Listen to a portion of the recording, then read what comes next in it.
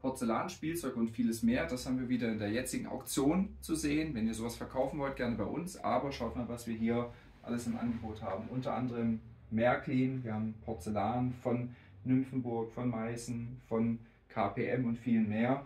Wir haben hier asiatische Objekte, Vasen, wir haben hier etwas Erotika, hier unten Skulpturen von deutschen Künstlern oder Porzellane aus vielen anderen Manufakturen. Hier habe ich euch was Kleines rausgesucht und zwar dieser Spielautomat. Und zwar haben wir hier einen Vogelkäfig, den muss man hier unten aufziehen. Und dann haben wir hier so einen kleinen Hebel, einen ganz unscheinbaren. Und wenn ich den jetzt mal löse, das ist ja schon richtig cool.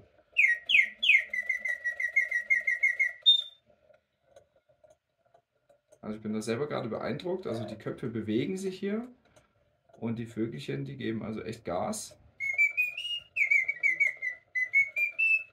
Und es hört sich eigentlich sogar auch noch ganz gut an. Also das finde ich richtig cool. Ich glaube, sowas muss ich mir selber mal kaufen. Also solche Dinge gibt es bei uns und das heißt viel Spaß beim Bieten und einen schönen Tag wünsche ich euch.